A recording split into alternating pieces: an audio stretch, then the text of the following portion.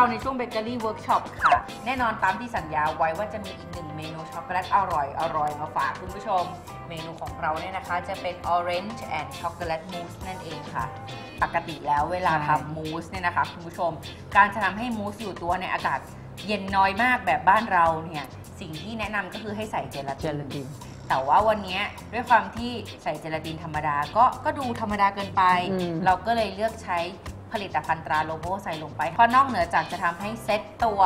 เป็นมูสที่อร่อยแล้ว ยังมีกลิ่นกลิ่นแล้วก็รสใช่ส้มเพิ่มเข้ามาอืม ด้วย โอเค ขั้นตอนการทำเริ่มจากอะไรคะวันนี้ วันนี้เราก็ต้องชั่งนมข้นจืด โอเค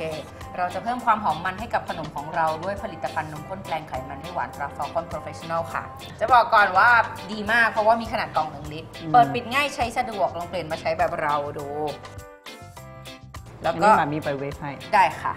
ใส่วุ้นเจลาตินสำเร็จรูปกลิ่นส้มตราโลโบลงไป ได้นมได้เจลาตินกลิ่นส้มแล้วใส่ dark chocolate compound ตราทิวลิปลงไป คนส่วนผสมต่อจนกระทั่งส่วนผสมเป็นเนื้อเดียวกันอุ้ยง่ายมากนะ ใช่ เราช่วยไหมได้ได้ค่ะด้วยความที่เราเวฟนมข้นจืดของเราร้อนระดับหนึ่งเลย เพราะฉะนั้นก็จะสามารถละลายเจลาตินกับละลายช็อกโกแลตได้ดีอืมถ้ายังละลายไม่หมดแบบเหลือนิดๆหน่อยๆลองพยายามคนๆดูแล้วเชื่อว่าเดี๋ยวจะละลายเพิ่ม แต่ถ้าเหลือเป็นก้อนใหญ่ ๆ เนี่ย อุ่นต่ออีกสักหน่อยนะคุณผู้ชมนะ พอเขาละลายหมดใช่ไหมเราก็จะใส่ผลไม้ วันนี้เราใส่กลีบส้มเนาะแล้วสมมุติเราบอกว่าเราจะชอบใส่อะไรก็ใส่ได้ เพราะผลไม้ทุกชนิดเลย เข้ากันกับช็อกโกแลตได้ วันนี้เราเลือกใช้วุ้นเจลาตินกลิ่นส้ม เพราะฉะนั้นเราก็เลยอยากใช่ใส่มีเนื้ส้อมส้มลงไปด้วยแต่จริงๆสตรอเบอรี่สีสันอะไรแบบนี้ได้หมดเลย ตามความชอบเลยคุณผู้ชมใช่ค่ะใส่อืมเราเลือกใช้เนื้อส้มนะคะ เนื้อส้มในน้ำเชื่อม เรียบร้อยค่ะโอเคเย็นละพักก่อนนะคะ เดี๋ยวมาเราก็ตีส่วนที่สองได้ค่ะอ่าส่วนที่สองนี่จะทำให้ เขาสวยงามแข็งตัว โอเคชิ้นนี้เราจะมีโกโก้ paste โกโก้ paste ก็คือโกโก้ผงผสมกับน้ำมันค่ะ เนาะเท่าๆกันเนาะค่ะ เสร็จแล้วก็วิปปิ้งครีม 250ค่ะอันนี้ก่อน วิปปิ้งครีมนะคะ เลือกใช้มารีน่าก็ได้แบบที่เราใช้ เพราะว่ามีรสชาติอยู่นิดหน่อยอยู่แล้ว เวลาตีขึ้นฟูออกมาเนี่ยจะรสชาติอร่อยพอดีโกโก้ paste ที่อาจารย์เมย์บอกนะคะ ค่ะ ทำไมถึงยังต้องใส่โกโก้ paste ลงไปใน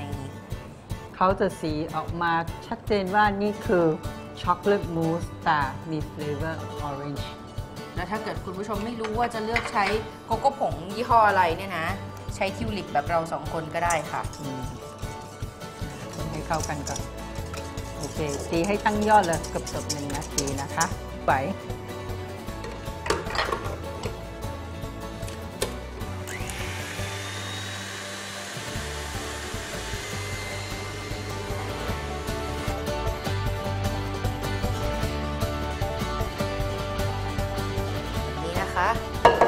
ว่าส่วนผสมของเราเรียบร้อยแล้ว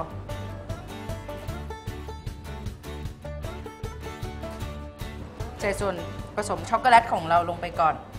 จากนั้นตามด้วยวิปปิ้งครีมของเราที่ตีฟูแล้ว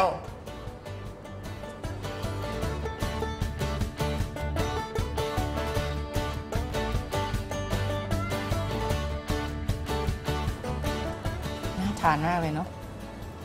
ค่ะ รู้สึกว่ามันเป็นมูสช็อกโกแลตที่ซุปเปอร์ช็อกโกแลตจริงๆมันไม่คนจากนั้นตักมูสของเรา ลงในถุงบีบ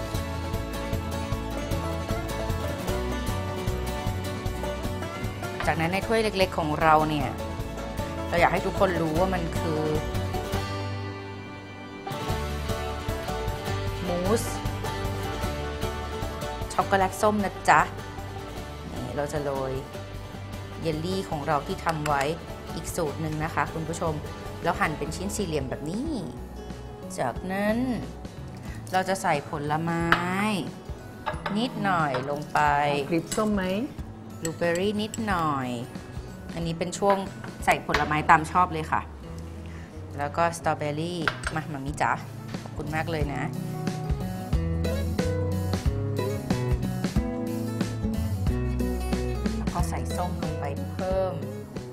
ให้รู้ว่าเนี่ย ฉันทำเยลลี่ส้มนะ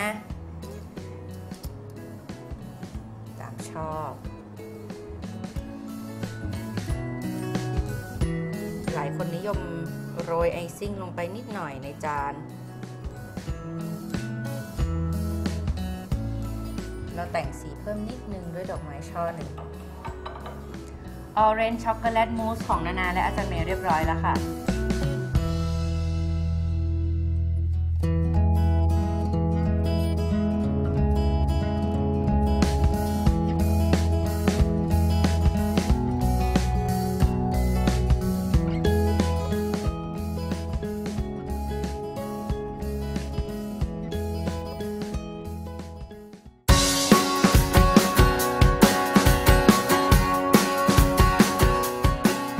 สดชื่นกับเฮลส์บลูบอยเรามาอร่อยกับเค้กมะพร้าวครีมโซดากันค่ะ เริ่มจากน้ำน้ำหวานเข้มข้นกลิ่นครีมโซดาตราเฮลส์บลูบอยมาผสมกับน้ำ นำขึ้นตั้งไฟจนเดือด ใส่มะพร้าวทึนทึกลงไป คนจนมะพร้าวงวดเกือบแห้ง จึงปิดไฟ ต่อไปผสมแป้งสาลีทำเค้กกับแป้งข้าวโพด ผงฟู วานิลาซีผง และเกลือป่นเข้าด้วยกัน ใส่น้ำตาลทรายลงเคล้ากับตัวแป้งเตรียมไว้ค่ะ จากนั้นใส่ไข่ไก่ลงในอ่างตี ตามด้วยแป้งที่เตรียมไว้ และสารเสริมสำหรับทำเค้กสปันจ์ และเพิ่มความเร็วสูงสุดเติมน้ำเย็นลงไป แล้วลดความเร็วลงต่ำเติมเนยสดชนิดเค็มละลาย และกะทิสำเร็จรูป ตีผสมพอเข้ากันจึงปิดเครื่องคนด้วยพายยางอีกครั้ง เทลงในพิมพ์นำเข้าเตาอบที่อุณหภูมิ 350 องศาฟาเรนไฮต์จึงนำออกจากพิมพ์ สไลด์เค้กออกเป็น 3 ชั้น แต่ละชั้นปัดด้วยวิปปิ้งครีมตีฟู และใส่ไส้มะพร้าวลงไปก็พร้อมเสิร์ฟแล้วล่ะค่ะเมนู 2 เมนูนี้หมามีมีข้อควรระวังอะไรบ้าง อ๋อสำหรับมูสนะคะ เวลาสมมุติเราทำส่วนผสมที่เป็นเจลาตินก็ต้องเย็นจริง ๆ